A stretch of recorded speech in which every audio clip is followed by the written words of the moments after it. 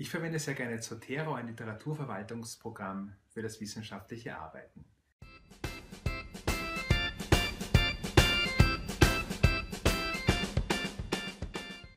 Mit Zotero kann ich wissenschaftliche Quellen sammeln und organisieren.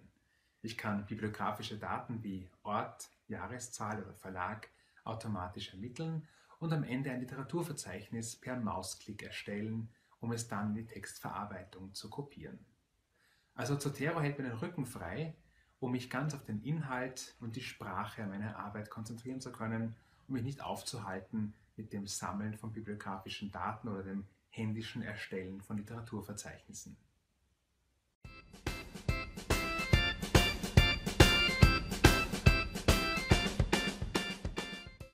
Zotero kann von Lehrern und Lehrerinnen immer dann verwendet werden, wenn sie entweder selbst wissenschaftlich arbeiten oder das wissenschaftliche Arbeiten ihren Schülern und Schülerinnen beibringen, etwa im Rahmen der vorwissenschaftlichen Arbeit.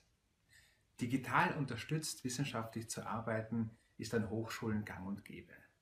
Aber anstatt Zeit zu verwenden, um händische Literaturverzeichnisse zu erstellen, sollte man lieber Quellen für ihre Zuverlässigkeit hin überprüfen oder am Inhalt oder an der Sprache des Textes arbeiten.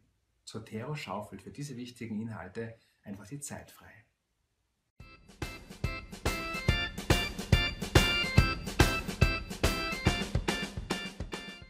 Um Zotero effizient zu nutzen, sollte man sich vorher mit den grundlegenden Funktionen des Programms auseinandersetzen und diese im Trockentraining durchspielen. Dazu gehören das Hinzufügen einer wissenschaftlichen Quelle in Zotero, das Organisieren und Sammeln mittels Ordnern und Tags, das Bearbeiten von bibliografischen Daten und das Exportieren eines Literaturverzeichnisses. Zunächst zum Hinzufügen einer wissenschaftlichen Quelle. Am einfachsten ist es, mit dem Zotero Browser Plugin aus dem Katalog einer Bibliothek, in der das Buch aufgelistet ist, die bibliografischen Daten direkt zu übernehmen. Sobald auf einer Website solche Daten zu finden sind, erscheint in der rechten oberen Ecke der Adresszeile ein kleines Symbol. Ein Klick darauf kopiert die bibliografischen Daten direkt in Zotero. Dort kann die neu hinzugefügte Quelle angezeigt und auf Vollständigkeit überprüft werden. Wenn notwendig, können alle bibliografischen Daten bearbeitet und ausgebessert werden.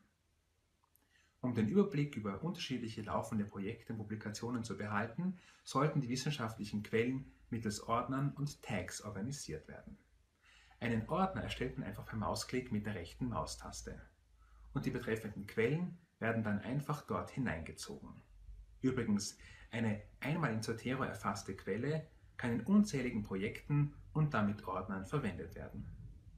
Sind alle Quellen mit den bibliografischen Daten erfasst, kann per Mausklick automatisiert das Literaturverzeichnis im gewünschten Zitierstil erzeugt werden. Ich empfehle, das Verzeichnis in die Zwischenablage zu kopieren und direkt von dort in die Textverarbeitung an das Ende des Textes einzufügen. Viel Spaß und Erfolg mit der Nutzung von Zotero.